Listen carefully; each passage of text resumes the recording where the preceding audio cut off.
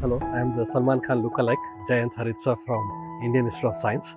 I run the database systems lab at the Department of Computational Data Sciences. So I came here today in order to uh, give the eighth uh, lecture in the Professor Roddam Narasimha series that was set up by Professor uh, Anil Kumar from Vanderbilt University. And I gave a talk about the uh, current world of data science, the good, the bad, and the ugly. Uh, this was my first visit to the IIT Gandhinagar campus, although I had seen a lot about it through the newsletters that Professor Sudhir Jain had been sending us regularly.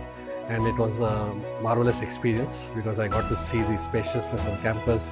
I got to see all the innovative ideas, including the solar panels, all the rainwater harvesting, then the Sabarmati River, and then, of course, the creative learning lab was excellent because of all the cute uh, uh, uh, educational uh, uh, material that they are developing where you can do hands-on understanding of science. I also saw the research park and so on.